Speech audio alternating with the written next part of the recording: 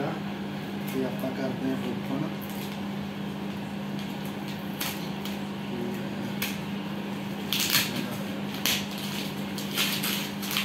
Australia ਤੋਂ ਰੱਖੜੀ ਭੇਜੀ ਆ। ਵੈਸੇ ਤਾਂ ਉਹਨਾਂ ਨੇ ਆਉਣਾ ਸੀਗਾ ਇਸ ਵਾਰ ਰੱਖੜੀਆਂ ਤੇ, ਪਰ ਲੋਕਡਾਊਨ ਕਰਕੇ ਉਧਰ ਥੋੜ੍ਹੀਆਂ ਪਾਬੰਦੀਆਂ ਕਰਕੇ ਉਹ ਆ ਨਹੀਂ ਸਕਦੇ। ਸੋ ਕਿਸੇ ਦੇ ਹੱਥ ਭੇਜੀ ਆਪਾਂ ਪੋਸਟ ਦੇ ਸਕਦੇ ਹਾਂ ਇਹਨਾਂ ਕੀ ਭੇਜਿਆ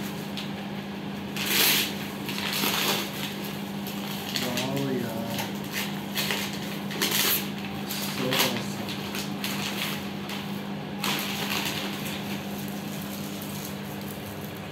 ਬਹੁਤ ਹੀ ਪਿਆਰਾ ਗਿਫਟ ਭੇਜਿਆ ਭੈਣ ਨੇ ਬਹੁਤ ਹੀ ਜ਼ਿਆਦਾ ਪਿਆਰਾ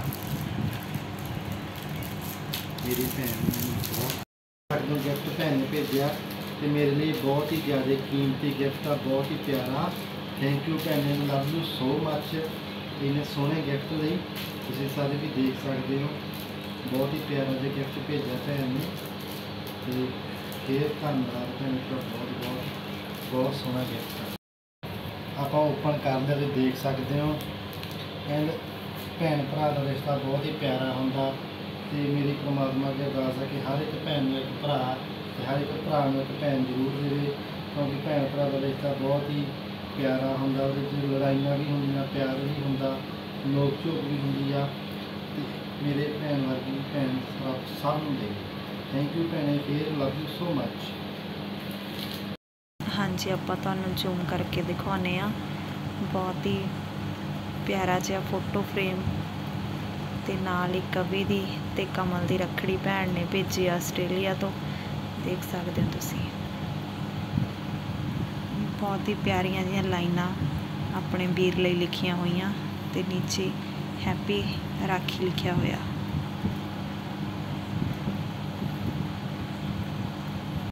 ਜੀ ਰੱਖੜੀ ਦਾ ਤਿਉਹਾਰ ਤੁਹਾਨੂੰ ਪਤਾ, ਭੈਣ ਭਰਾ ਦੇ ਪਿਆਰ ਦਾ ਪ੍ਰਤੀਕ ਹੁੰਦਾ। ਕੋਈ ਵੀ ਭੈਣ ਕਦੇ ਵੀ ਪੈਸਿਆਂ ਦੀ ਭੁੱਖੀ ਨਹੀਂ ਹੁੰਦੀ, ਬਸ ਉਹ ਸਿਰਫ ਆਪਣੇ ਭਰਾ ਦੇ ਪਿਆਰ ਅਤੇ ਆਪਣੇ ਭਰਾ ਲਈ ਹਮੇਸ਼ਾ ਖੁਸ਼ੀਆਂ ਚਾਹੁੰਦੀ ਹੈ।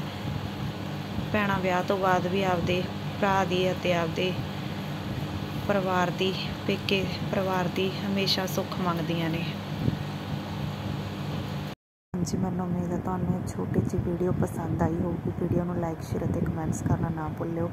ਮਿਲਦੇ ਹਾਂ ਨੈਕਸਟ ਵੀਡੀਓ ਦੇ ਵਿੱਚ। Okay bye take care bye bye